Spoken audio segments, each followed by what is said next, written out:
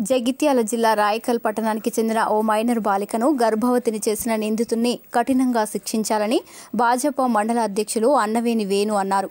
గురువారం రోజున ఆయన విలేకరులతో మాట్లాడుతూ గత రెండు మూడు రోజులుగా సోషల్ మీడియాలో మరియు పలు దినపత్రికలలో పట్టణానికి చెందిన ఒక మైనర్ బాలికను ఒక వ్యక్తి లోబర్చుకొని గర్భవతిని చేశాడని ఆ నిందితుడిని వెంటనే అరెస్టు చేసి పోక్సో దిశ నిర్భయ మరియు చైల్డ్ ట్రాఫికింగ్ చట్టాల కింద కఠినంగా శిక్షించాలని ఆయన డిమాండ్ చేశారు.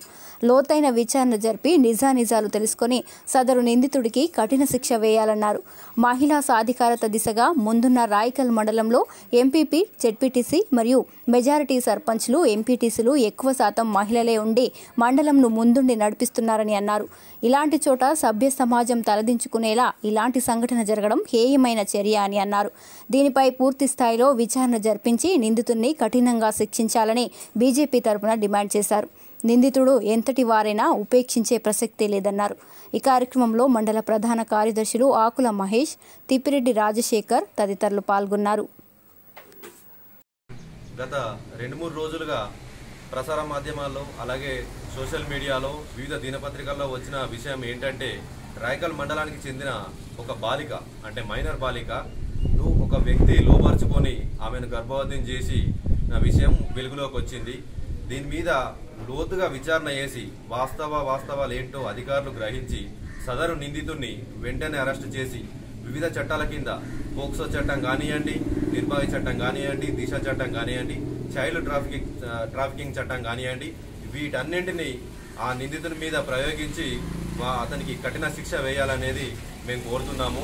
అలాగే మహిళా సాధికారికత విషయం లోపల మన మండలం ఎంతో ముందుంది. స్థానిక ఎంపీపీ గారు కావచ్చు జెడ్పీటీసీ గారు కావచ్చు వివిధ గ్రామాల మహిళా సర్పంచులు కావచ్చు మహిళా ఎంపీటీసీలు కావచ్చు ఎంతో మంది మహిళలు ముందుండి నడిపిస్తున్న మన మండలం లోపల ఇలాంటి సభ్య సమాజం తలదించుకునేలా ఒక చర్య జరగడం అనేది నిజంగా చాలా దారుణమైన సంఘటన.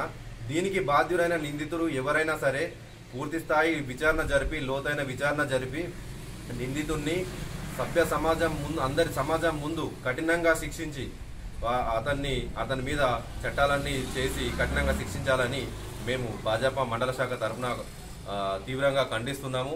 ఇలాంటి సంఘటనలు పునరావృతం కాకుండా అధికారులు కానీ ప్రభుత్వం రాష్ట్ర ప్రభుత్వం కానీ పూర్తి స్థాయి కట్టుదిట్టమైన మహిళల భద్రత కోసం మరిన్ని చట్టాలు తీసుకొచ్చి వాళ్ళకు పూర్తి స్థాయి న్యాయం చేయాలని చెప్పి కోరుతున్నాము. దీని తరపున ఒకవేళ బాలిక బాలిక కుటుంబానికి కానీ బాలికకు కానీ ఎలాంటి సహాయం కావాలన్నా కూడా మేము వారికి అండగా ఉండి వారిని పూర్తి స్థాయి రక్షణలో ఉంచుతామని చెప్పి ఈ విధంగా తెలియజేస్తున్నాం